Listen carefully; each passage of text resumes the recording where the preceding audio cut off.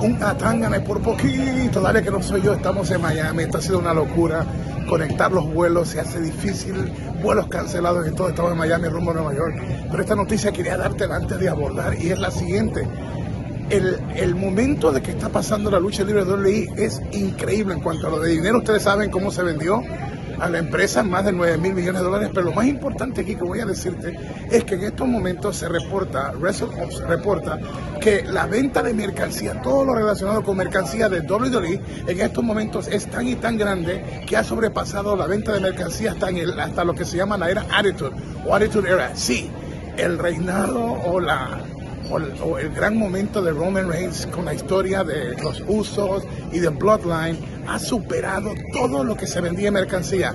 Este es el momento del mayor éxito para WWE en cuanto a mercancía y es la era de Roman Reigns. Así que lo ha hecho el jefe de la tribu. ¡Wow! Brutal, brutal. Recuerda, Summer Madness, julio 22. Pepín Cestero de Bayamón, boletos a la venta en tiquetera. Profe contra Hugo, super encuentros, julio 29 tremendo encuentro en Kissimmee, cabe ese pabellón.